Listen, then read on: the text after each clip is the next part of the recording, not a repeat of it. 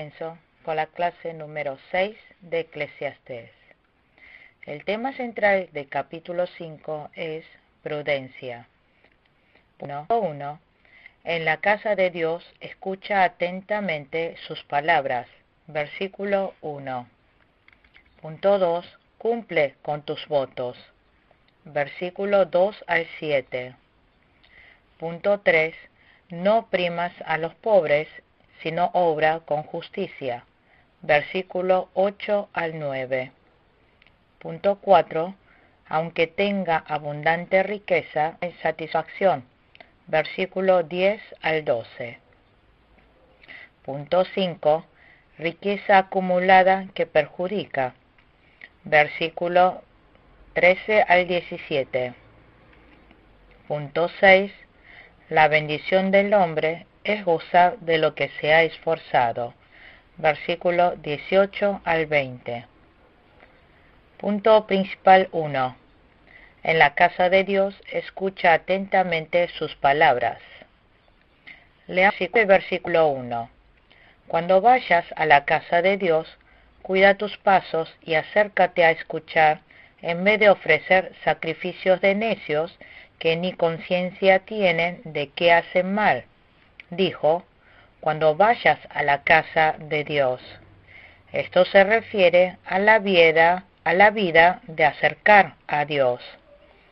Por tanto, los fieles deben esforzarse a entrar en el templo de Dios.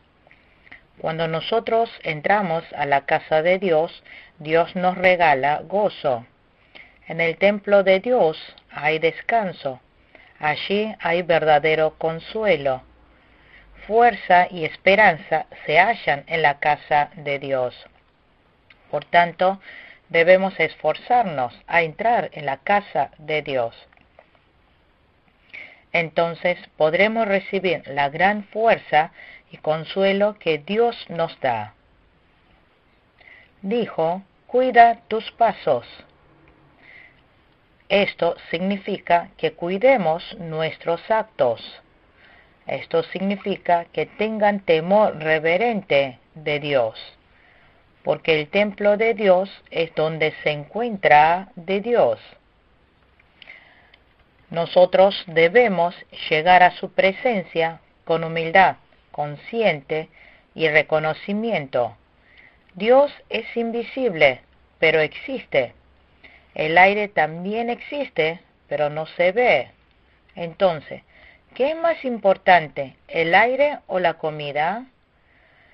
Se puede vivir sin tomar agua por 10 días, pero si uno dejara de recibir aire que no se, ah, que no se ve, por tres minutos se mueren las neuronas y a los cinco minutos el hombre se muere.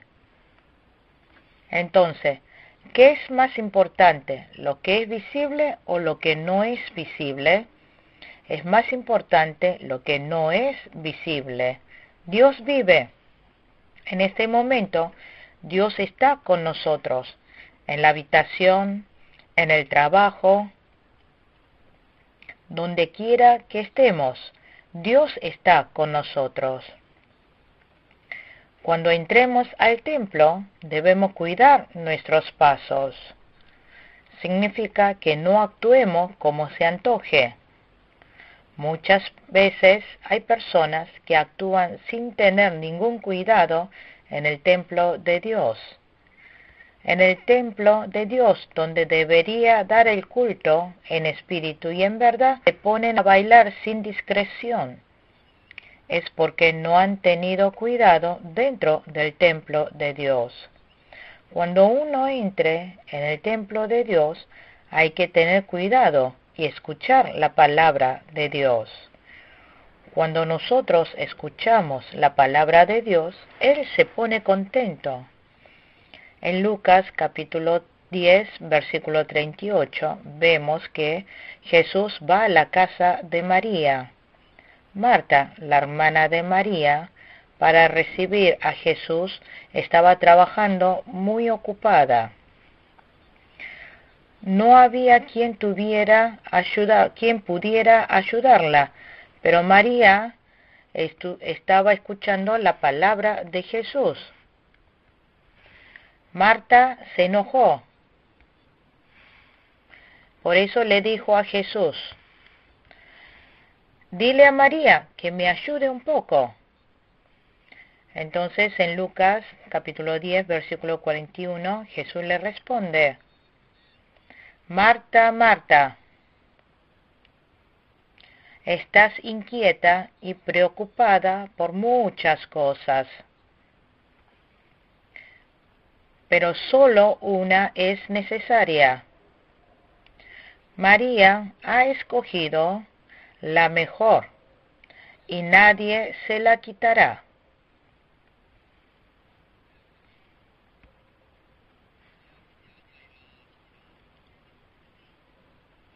Jesús consideró más dichoso la actitud de María que se esforzaba a escuchar con todo el corazón la palabra. Hoy en día hay personas, muchas personas como Marta, que van a la iglesia. En vez de escuchar la palabra, están más inquietas para el servicio y ellos han olvidado de Jesús. ¿A quién amará más Jesús? aquel que anhela la palabra de Dios. Por tanto, cuando nosotros vayamos al templo, debemos anhelar la palabra. La obra del avivamiento de la iglesia primitiva fue justamente porque se esforzaron en aprender la palabra de Dios en Hechos capítulo 2, versículo 42, dijo, se mantenían firmes en la enseñanza de los apóstoles, en la comunión, en el partimiento del pan y en la oración. La iglesia que se dedique a aprender de la enseñanza de los apóstoles, aprender de la palabra de la Biblia, anhele la palabra esa iglesia crecerá. ¿Cuál fue la primera iglesia que se levantó entre los gentiles? Fue la iglesia de Antioquía. La iglesia de Antioquía recibió la enseñanza del apóstol Pablo y de Bernabé. Por tanto, hubo un gran avivamiento en la iglesia de Antioquía. Eso ocurrió porque habían recibido bien la palabra de Dios. El avivamiento de la iglesia primitiva se debió al resultado de haber escuchado bien la palabra. Por tanto, si nosotros también, como la iglesia de Antioquía, queremos tener un gran avivamiento, Debemos escuchar bien la palabra de Dios. Debemos desear la palabra de Dios. Esa iglesia crecerá, se producirá gran avivamiento. Por lo tanto, debemos ser personas que anhelemos con todo el corazón la palabra de Dios. En Salmo 107, versículo 9, dijo, Él apaga la sed del sediento y sacía con lo mejor al, hambriento. Al que anhela la palabra de Dios le llenará con lo mejor. Así que nosotros debemos entrar a la casa de Dios y desear la palabra de Dios.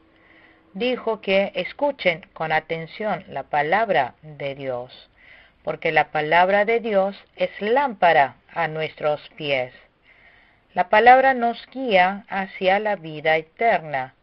La palabra nos da poder. La palabra es la espada. Cuando tenemos la espada, con esa espada tenemos libertad y podemos vencer la obra del diablo. Pero el necio entregó mucho sacrificio a Dios. Pero Dios no recibió ese sacrificio. Dijo, acércate a escuchar. en vez de ofrecer sacrificio de necios. Dijo que el necio, haciendo lo malo, no comprendió que lo, que lo no comprende que lo ha hecho. Cuando entremos al templo, debemos tener mucho cuidado. Debemos estar conscientes de Dios. Debemos creer en que Él vive y debemos apresurar a escuchar su palabra. Debemos anhelar. Entregó mucho sacrificio en el templo de Dios, pero dijo que él era un necio. Es porque no tuvo cuidado. No deseó la palabra. Como Marta, hizo mucho servicio. Pero esa ofrenda fue sacrificio de necio esa ofrenda se volvió malo. Por eso en Isaías se dice, Isaías capítulo 1, versículo 11, dice, ¿De qué me sirven sus muchos sacrificios? dice el Señor. Harto estoy de holocausto de carneros y de la grasa de animales engordados, la sangre de toros corderos y cabras no me complacen.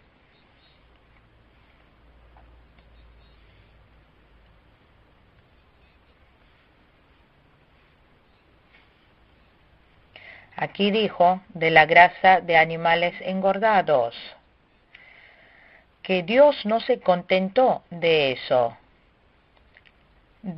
Dios después dijo, en Isaías capítulo 1, versículo 12,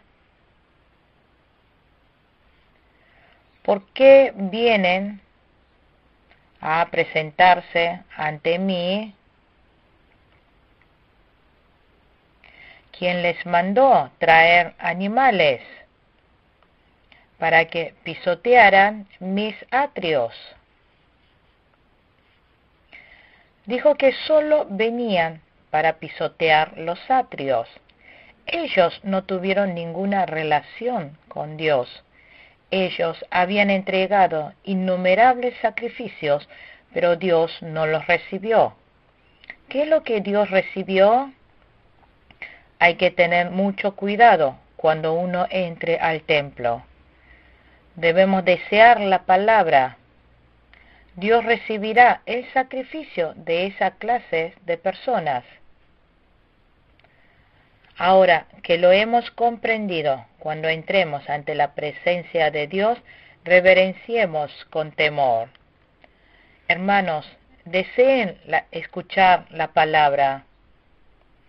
El necio solo entregó ofrenda y no comprendió.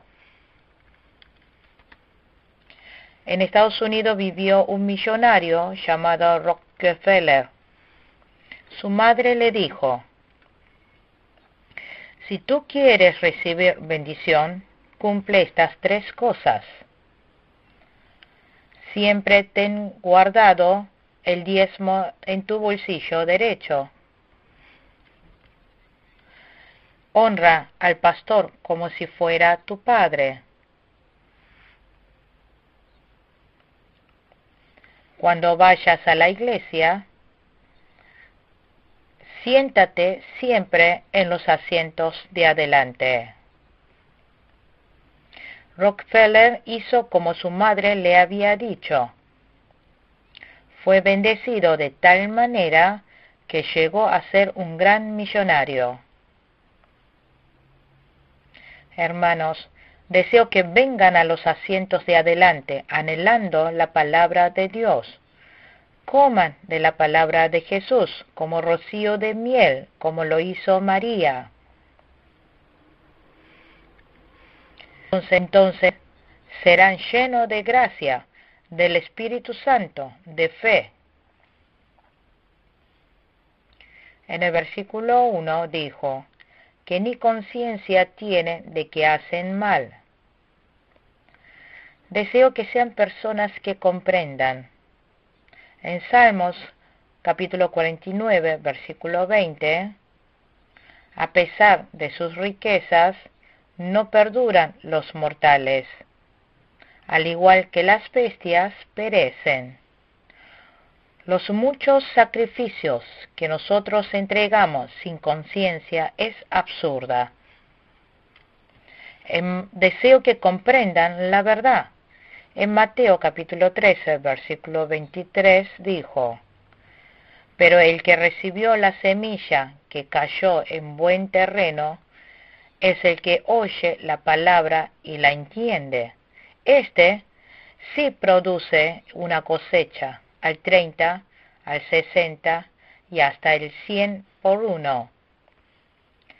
El que ha entendido ha sembrado en buena tierra y por eso pudo tener buenos frutos. Hermanos, cuando entren en el templo, hágalo con temor reverente. Tengan cuidado con sus pasos. Presten atención en querer escuchar la palabra de Dios.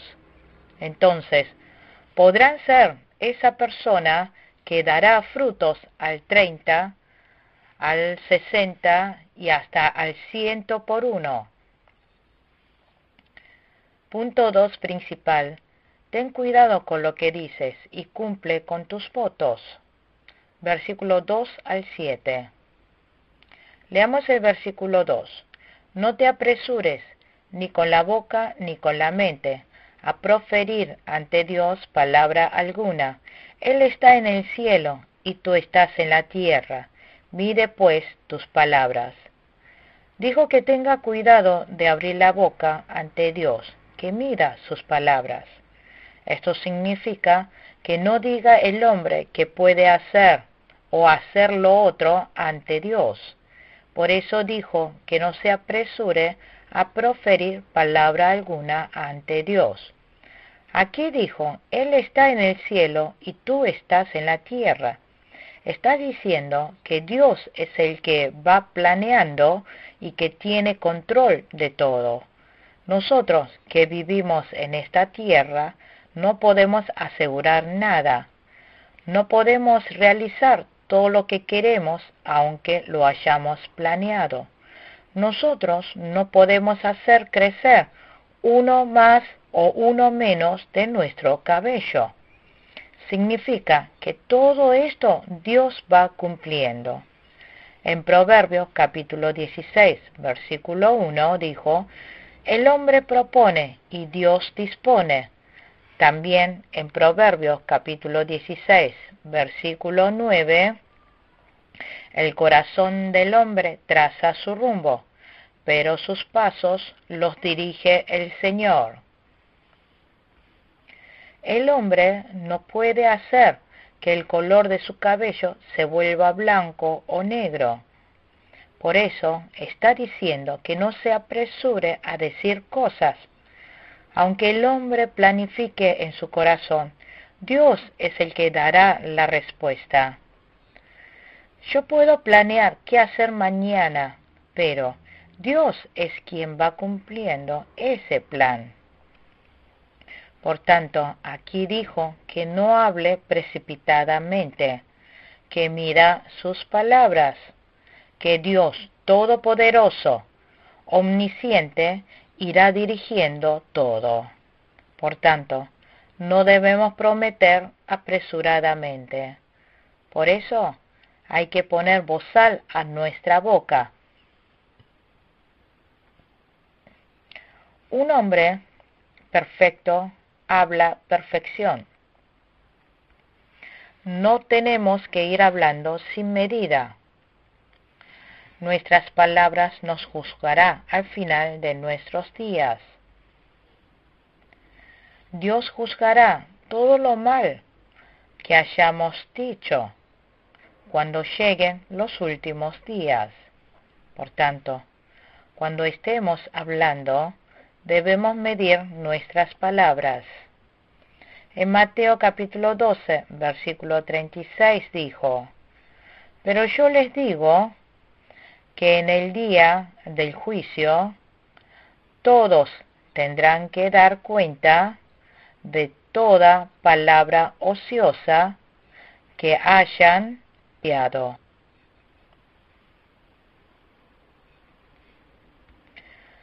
Todo lo que hayamos dicho nosotros serán juzgadas en el día del juicio. Por eso, no debemos andar diciendo palabras ociosas. En la iglesia que estuve ministrando, hubo un diácono, líder de una célula. Él tuvo una muy buena fe. Dirigió fervientemente el servicio del grupo de célula. Allí empezó a participar una desposada joven y ella quedó embarazada. En ese momento yo era copastor. Y me vino a ver el diácono y me dijo, Copastor, yo oré y estoy seguro que el bebé que está por nacer es un varón. Y le dije que era algo muy peculiar. Pero como yo tenía aprendido bíblicamente, y le dije que será como Dios desee, ¿qué podemos hacer nosotros? Y a los nueve meses nació el bebé. ¿Qué habrá sido? Una nena. Por eso, el líder del, del grupo no pudo decir nada más. En el versículo 2 dijo, No te apresures ni con la boca ni con la mente a proferir ante Dios palabra alguna. Él está en el cielo y tú estás en la tierra. Mire pues tus palabras. Porque Dios está en el cielo, Él va guiando según sus planes. Miramos las palabras. Por tanto, debemos ser personas precavidas con nuestras palabras. Versículo 3, leamos. Quien mucho se preocupa tiene pesadilla, y quien mucho habla dice tonterías. Dijo, quien mucho se preocupa tiene pesadillas, y quien mucho habla dice tonterías. Si nosotros trabajamos demasiado, cuando estemos durmiendo, seguimos trabajando en el sueño. Esta es una comparación por el que habla mucho. Y dijo, quien habla mucho dice tonterías. Si alguien habla mucho, esa persona se verá como un insensato. Pero alguien quien habla poco, lo ven como un sabio. Si habla muchas tonterías, se verá como un inculto. En Proverbios capítulo 17, versículo 27 dice, El que es entendido refrena sus palabras. El que es prudente controla sus impulsos. El que sabe refrenar sus palabras es alguien entendido. Aunque sea alguien insensato, si sabe guardar sus palabras, pasará por alguien sabio. Por lo tanto, debemos saber medir todo lo que digamos. No hablemos de más. En Proverbios capítulo 20, versículo 19, el chismoso traiciona la confianza no te juntes con la gente que habla de más.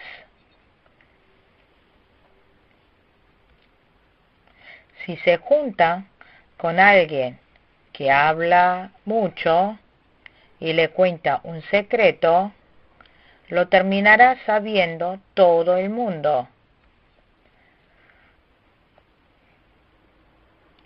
Lo dice hasta diciendo, no lo digas a nadie.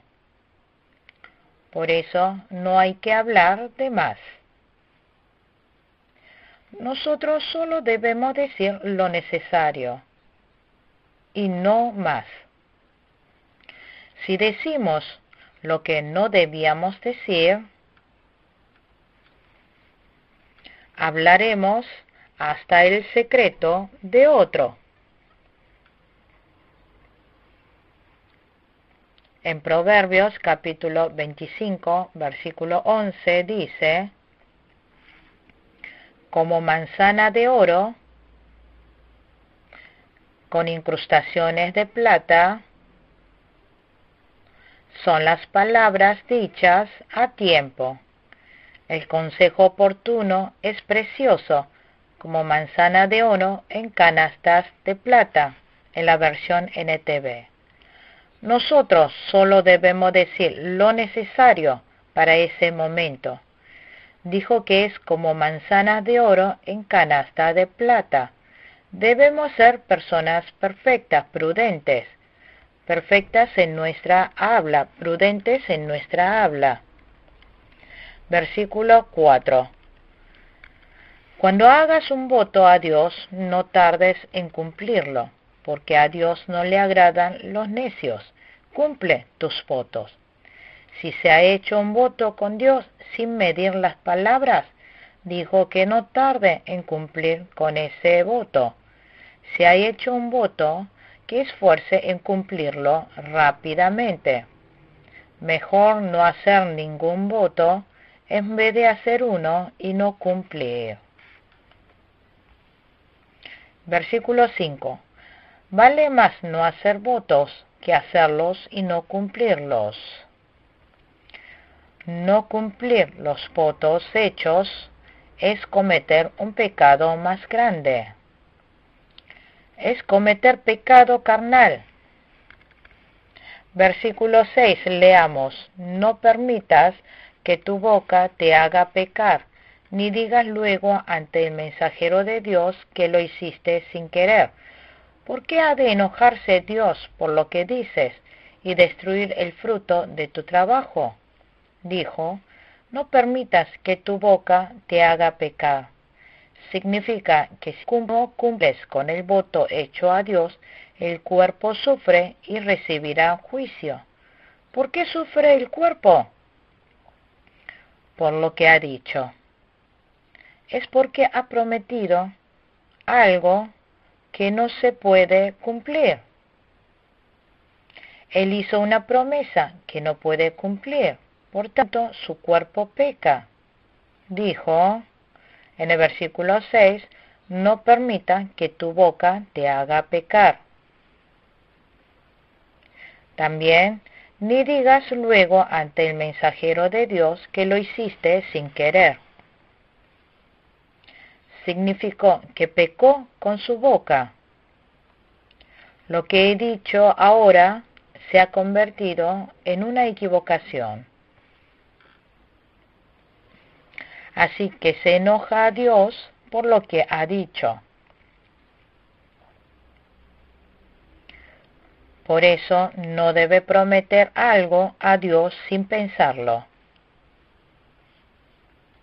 Pero esto no significa que no haga ninguna clase de voto. Es mejor hacer voto que no hacerlo. Entonces, para cumplir con ese voto, ¿Cuánto debemos esforzarnos? ¿Podremos llegar a cumplirlo o no?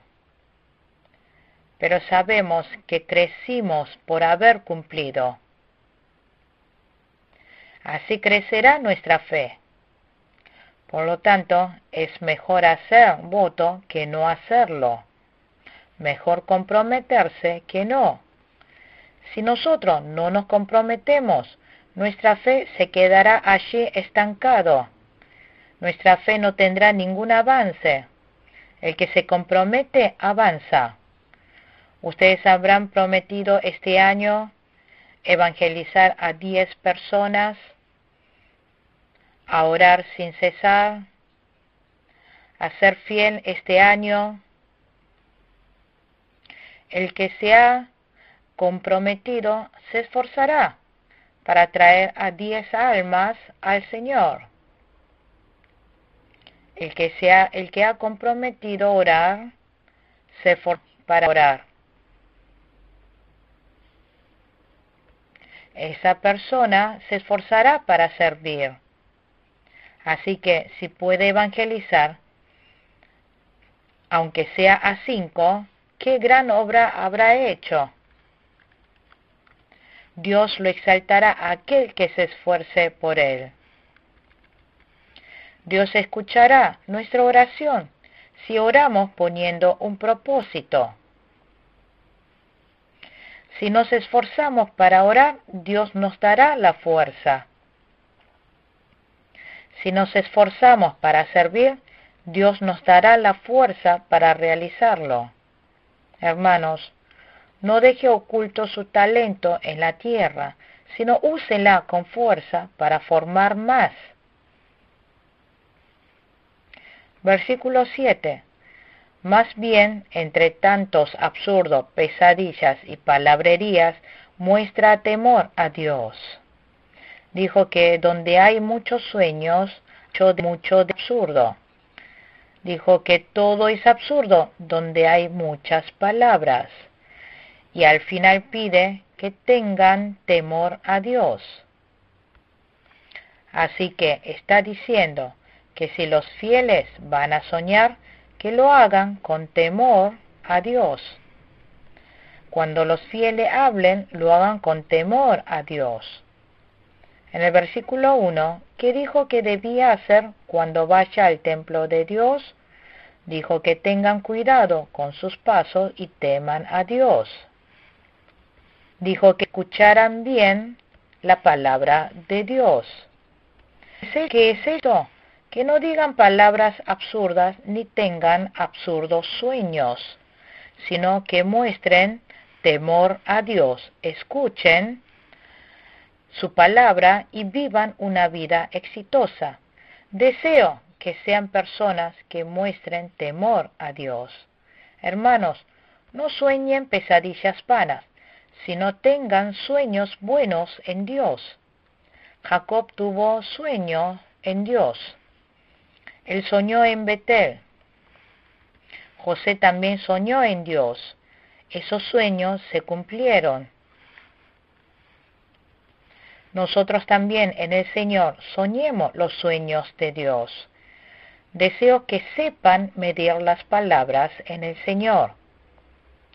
Que no sean incumplidores de promesas, sino cumplidores en el Señor.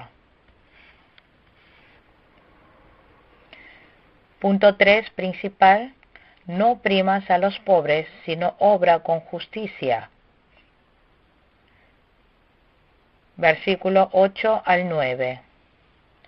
Leamos el versículo 8. Si en alguna provincia ves que se oprime al pobre y que a la gente se le niega un juicio justo, no te asombre de tales cosas, porque a un alto oficial lo vigila otro más alto, y por encima de ellos hay otros altos oficiales. En la ciudad podemos ver casos donde menosprecian a los pobres. En los juicios también, el que tiene dinero sale ganando.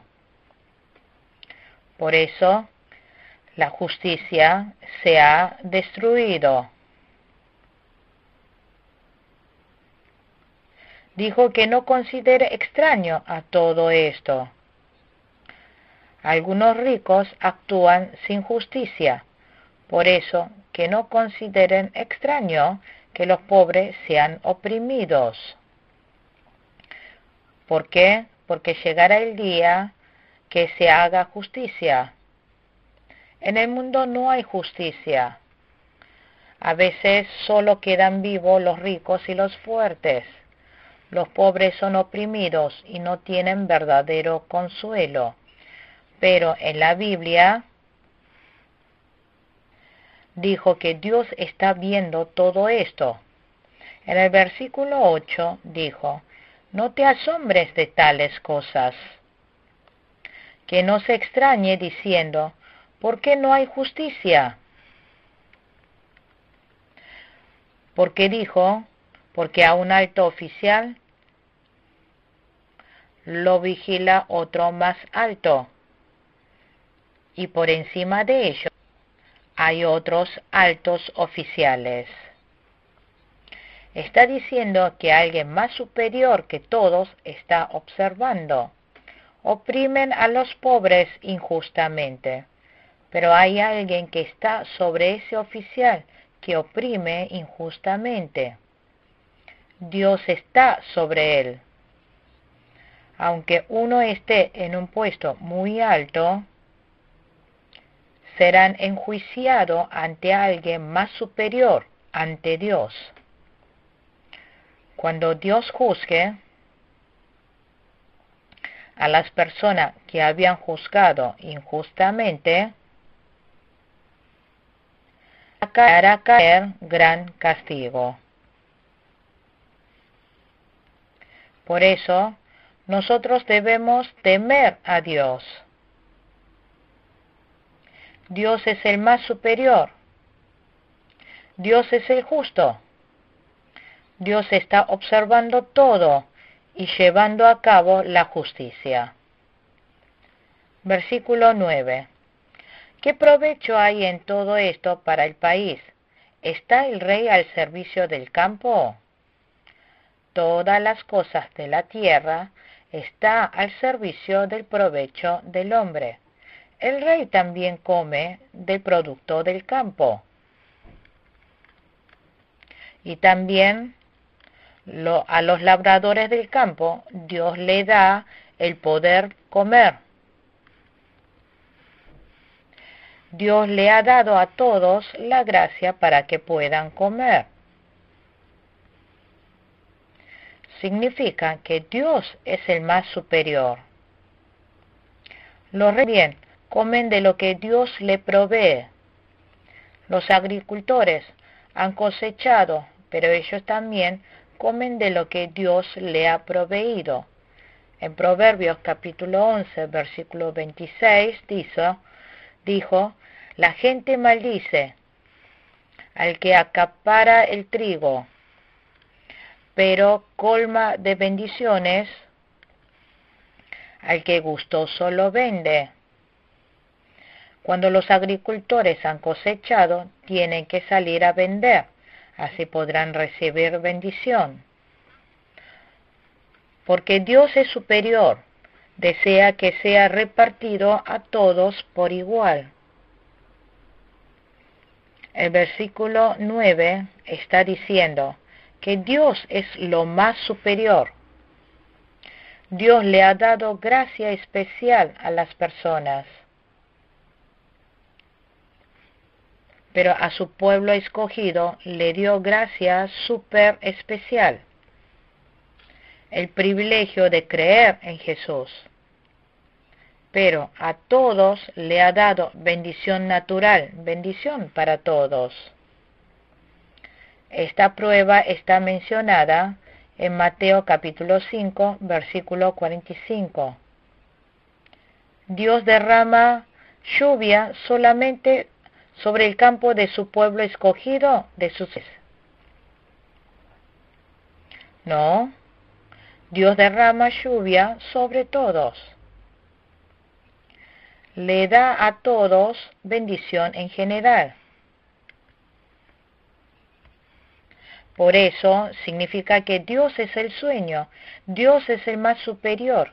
Por eso significa que Dios irá juzgando con justicia. Amados hermanos, ¿están sufriendo? ¿Están padeciendo injusticia por ser pobres? ¿Pareciera que ya no hay más justicia?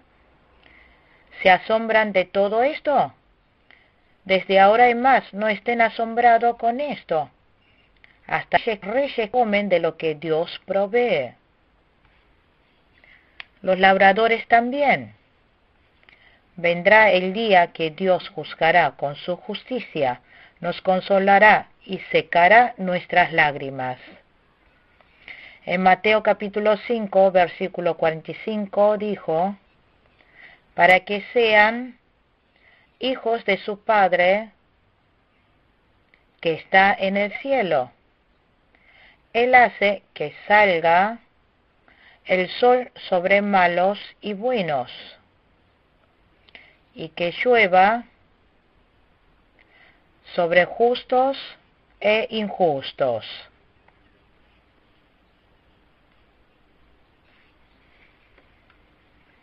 Dios hace que salga el sol sobre malos y buenos, y que llueva sobre justos e injustos. Significa que no, que no estemos extrañados al ver que en este mundo no hay justicia.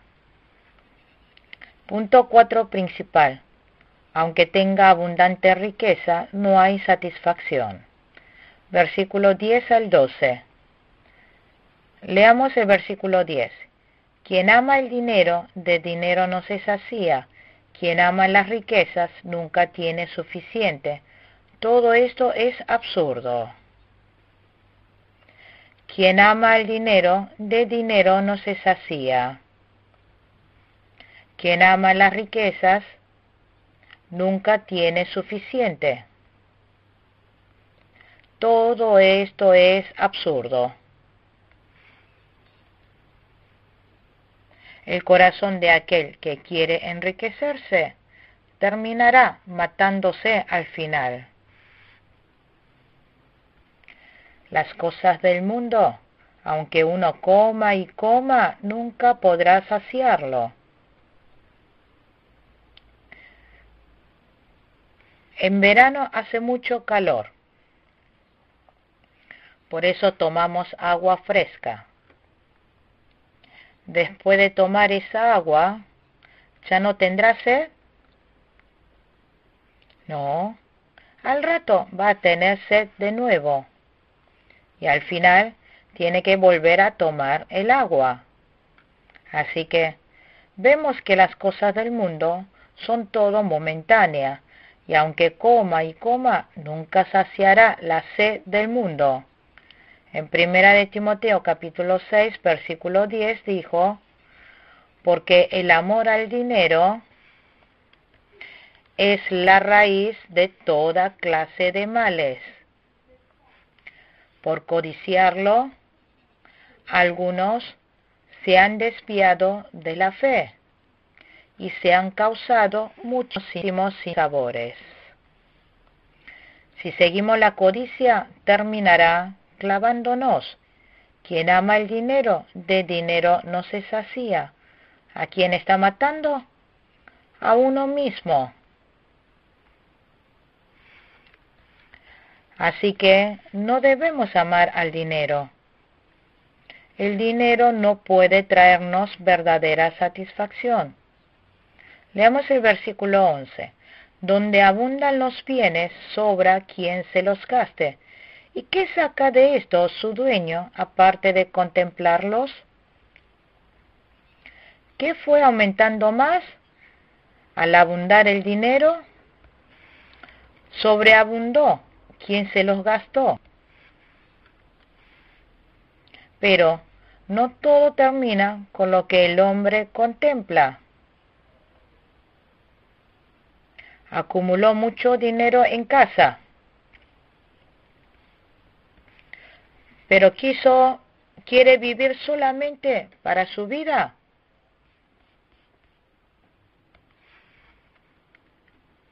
Debemos no solo quedarnos contemplando, sino llevarlo al estado de darle a los otros, porque surgirá muchas personas más para compartir.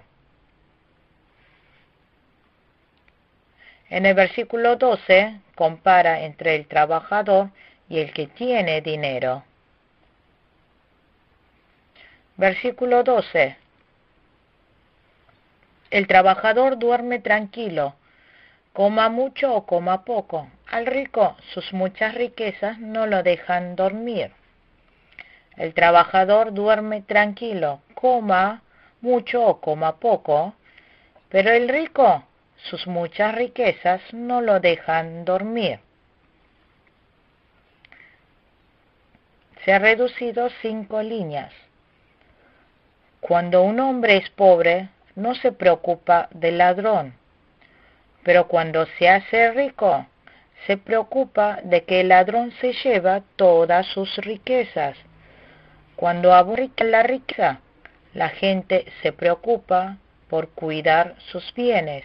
Por eso, para mantenerlo se cansan y se agotan. Punto 5 principal.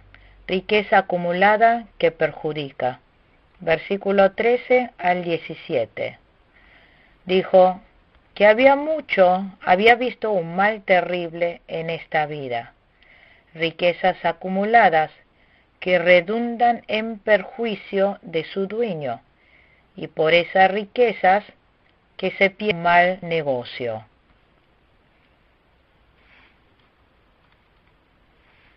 Versículo 14. Y riquezas que se pierde en un mal negocio. Y si llega un dueño, y si llega su dueño a tener un hijo, ya no tendrá nada que dejarle. que esa riqueza ya no le quedará nada a sus hijos, porque el hombre nace sin nada y cuando muera también se irá sin nada. Leamos el versículo 15. Tal como salió del vientre de su madre, así se irá, desnudo como vino al mundo y sin llevarse el fruto de tanto trabajo.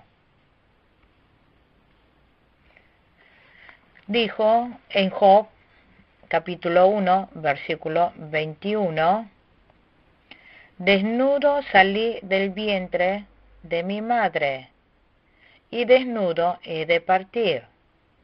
Nosotros, cuando partamos de este mundo, no llevaremos nada con nosotros aunque digamos que hemos obtenido algo, moriremos angustiados y enfermos. Versículo 16. Leamos. Esto es un mal terrible, que tal como viene el hombre, así se va. ¿Y de qué le sirve afanarse tanto para nada? Versículos 17.